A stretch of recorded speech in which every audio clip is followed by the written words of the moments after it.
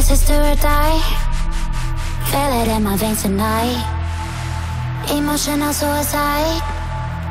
You know it's a knife for eye.